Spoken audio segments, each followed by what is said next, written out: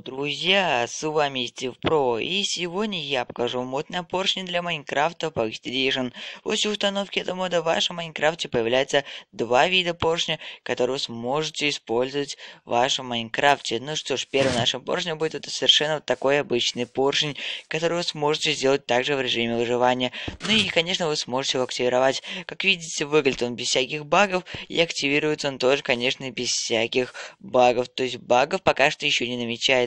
Но вы также можете его деактивировать, то есть просто-напросто его отключить. Также этот поршень будет поднимать вам совершенно любимые любые блоки, в том числе и сундуки, и печи, и верстаки. Эти поршни умеют все. Вот, например, такой липкий поршень, он тоже умеет все. Он умеет поднимать блоки.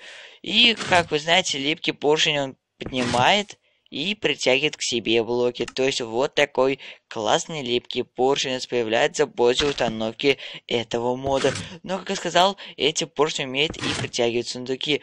Это возможность, к сожалению, на ПК пока что нет. Ну и что ж, на этом все. Ставьте лайки и подписывайтесь канал.